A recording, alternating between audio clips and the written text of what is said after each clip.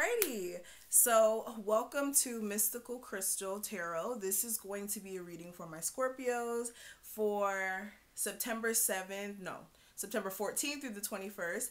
Thank you so much for joining me back on my YouTube channel. Yes, I am back on camera. We're to go ahead and try to switch things up. I feel like I've been constantly just uploading, uploading, uploading. So I want to come on camera. But we're going to go ahead and get straight into it this is going to be a quick disclaimer. This is a general reading, so everything I say may or may not apply to you specifically. So take everything with a grain of salt because it just might not be your message, okay? And if you do want a personal reading, definitely check out my website. That will be linked below as well as my Patreon so that you guys can go ahead and get monthly and weekly personalized messages sent out to you. And yeah, all of the other just all the other stuff, excuse me, will be listed below. So let's go ahead and start the reading. Okay. And try not to make this one too long. What's going on with Scorpios for September 7? No. September 14th through the 21st. Sun, Moon, Rising, and Venus Scorpios.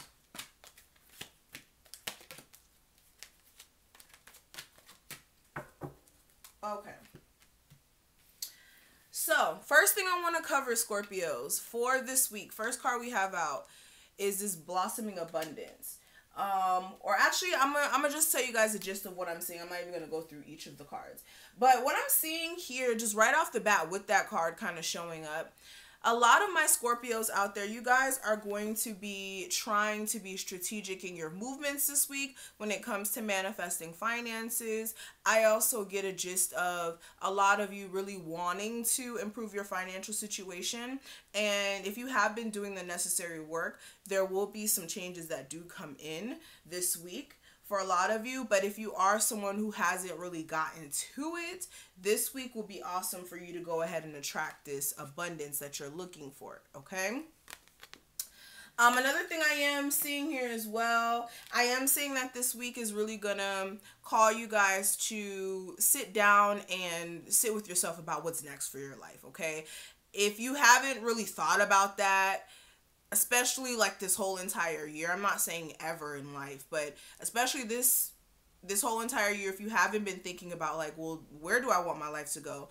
I feel like this week will kind of trigger that whether that's like a situation or encounter you may have with someone that may may bring it up or just internally you just want to know like what's next for me. And again you're really having to develop some sort of strategy this week okay um, also, this may be due to the fact that some of you just feel like you're stuck and tied to the same cycle of the same shit that you just don't want to deal with anymore. Or for some of you, it's more of like just feeling like, okay, well, you're just stuck to circumstances that you just don't want to be in. And for some of you, this could even be you feeling all tied up when it comes to a relationship or connection you may have with someone, not really knowing how to move with that or what direction or not direction but what decision will benefit you best. Um, especially if there is a level of hostility. For some of you guys there may be some people around you. This could be close friends. This could be not even close friends. This could be acquaintances. This could even be like love partners or a love interest this week that may be kind of hostile towards you kind of defensive. Or for a lot of you guys you could be coming off this way, especially if you are just like like kind of sick and tired of people and the mess that they bring towards you. And I feel like this may be uh, really coming to a head this week here. Okay. What I will say is don't allow anybody to take you out of your character, especially if you know who you are as a person. Um, another thing I am seeing as well this week, you will be encouraged to walk away from a lot of things that just really don't excite you anymore as a person. Whether this is um, walking away from a relationship you're just not here for, or walking away from friendships that you just feel like they're just meaningless or a job, what have you, but definitely walking away. And with you walking away, I feel like this is going to help you really like work on yourself so that you guys can actually open up and receive love, especially if you have been closed off for some time even in your relationships just very defensive due to what you've gone through i feel like there is some inner work that still needs to be um, done here now i want to actually pull one of these messages from your spirit guides and then we'll actually get into a bigger spread for you give me well actually no i don't want to do this one i want to see what's going on with your love life what's going on with my scorpio's love life for September 17th. Why do I keep saying 17th? September 14th through the 21st. Scorpio's love life from September 14th through the 21st. So we have playfulness, worth waiting for, and make the effort. So I am getting a huge sense of you guys really needing to be more open to, like I said, going out there and receiving the love that you want here. I feel like in divine timing, things will arise or situations will arise where you are going to have to decide whether or not you want to still put effort energy into a situation here okay? Also for some of you guys somebody may be coming back around and you may be trying to take things to the next level with this person. Um, but again you will have to decide whether or not you want to put effort into that okay? Um, alrighty, I want to pull one more card and then we'll go ahead and get into the spread. I want to see what the affirmations are that your spirit guides want you to carry for this week. So, what is the affirmation that I do need to pass on to my Scorpios for September 14th through the 21st? What do they need to hear? And we have, okay, so it says, I have the ability to heal myself. So, without even reading this, I am getting a huge sense of you guys really needing to deal with those old wounds that are not even like visible per se okay like in a physical sense more of like what's emotionally going on with you. And with this card it says you're being no you are a divine being and have the tools necessary to heal yourself. Others can assist with this process but ultimately the power is in your hands. Take the time to identify any emotional wounds and honor your healing process, which starts from within. So, really honor who you are as a person, the growth that you can like acquire on your own without anybody else's help especially if you do have people around you who make you feel as if like okay without them you'll be nothing or that type of energy. Don't feel that way because that's not the truth at all. You have the ability to heal yourself restore yourself and even transform into the position you'd like to be in if that's something you really want for yourself. So that is something important you guys do need to understand now, let's go ahead and get into some things when it comes to the week as a whole. So, what's going on with my Scorpios week for September 14th through the 21st? September 14th through the 21st for my Sun, Moon, Rising, and Venus Scorpios. Let me know if you guys like this setup. I know you guys like seeing the cards, but I'm just seeing y'all, okay? Alright, Scorpios for September 14th through the 21st. Alright, let's get into it. Okay. So, first thing I want to talk about is the energy that's at the bottom of the deck.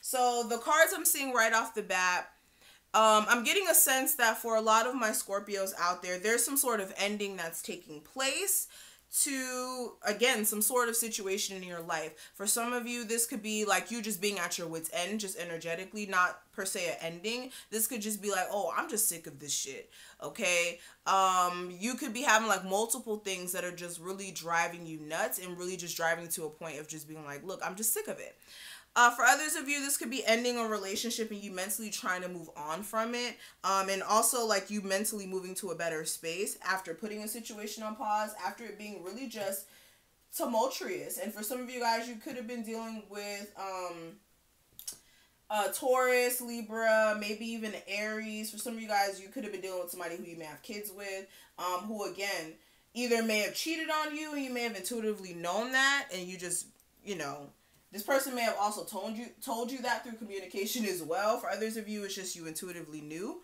Um, but definitely, you guys are just ending a situation that was just too much for you. And if it's not a certain situation, it's a cycle of issues, okay? Now, coming into this week, I have the Six of Cups.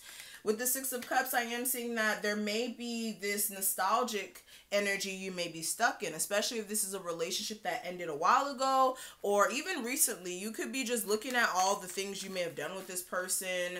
You also may be thinking about all your past relationships and really just all of your past wounds for some of you guys may be like a a thing that's like a focal point this week. You could be like thinking about just what you've gone through. All right. You also may be going back and forth within yourself about whether or not you should work things out with a situation um, or work things out with someone from your past, like I said, or somebody who you may have kids with. Okay.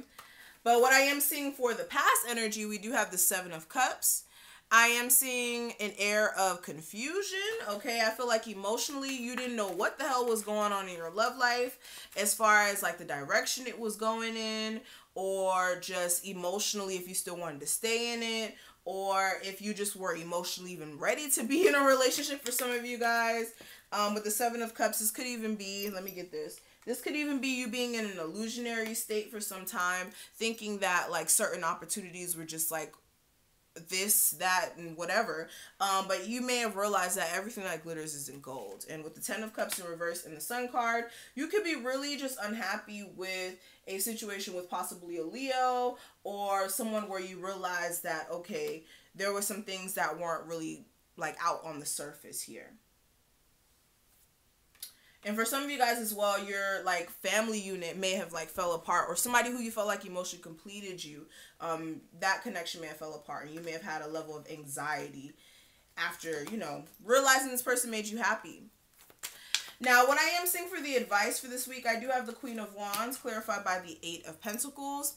I feel like if you are dealing with the fire sign, a Aries, Sagittarius, or a Leo, I feel like you guys can work this situation out with this person, but it is going to take a level of patience and it is going to take a lot of work, especially if there has been some issues leading up to this point, or even just some, some emotional issues or wounds that this person has or you may have. So definitely keep that in mind, but there is a chance to work that out.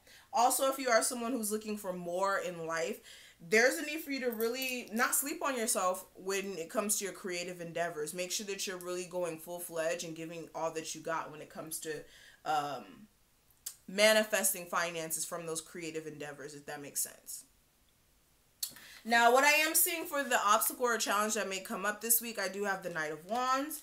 With this this may be that same fire sign i was just telling you about who may be just a little slanted about like you in in general. And when i say slanted i mean uh very wishy-washy like one second very passionate about the connection one second not um, also, there may be this hot and cold energy you may be feeling about this person if it's not them. Yeah, this may be an Aries, like I said, or a Taurus, Libra, somebody who you may have kids with, or somebody who just may have money. For some of you guys, I'm just be real. If it's not kids, this person got money. But other than that, what I am seeing for the outcome of this week, I do have the Ace of Wands. And with the Ace of Wands, I am seeing that there is going to be an opportunity for you to, like I said, really work on your financial uh, well-being. And really for some of you guys you will have some sort of spark or inspiration or some sort of wake-up call that's going to make you realize look i really need to get my finances in order. I need to get my money in order. I really want to be coined up, honey, okay? And for some of you, you will be making strides towards that. For others of you, there may be an opportunity for you to solidify some sort of connection here, possibly with the Taurus or maybe a Cancer from your past or just someone who you wanted a more stable connection from before, okay? This may come out of the blue. But that's what I'm seeing here, Scorpios. Thank you so much for watching this. I hope that I was able to give you some sort of heads up for what to expect for this week. If you did enjoy this, make sure you like this video, comment below, and subscribe. And definitely make sure you check out my Patreon and my website if you're interested in purchasing some crystal healing jewelry, um, some readings from me, child, okay? And all that other good stuff. Definitely check out my site, and I will talk to you guys in the next one. Bye, Scorpios.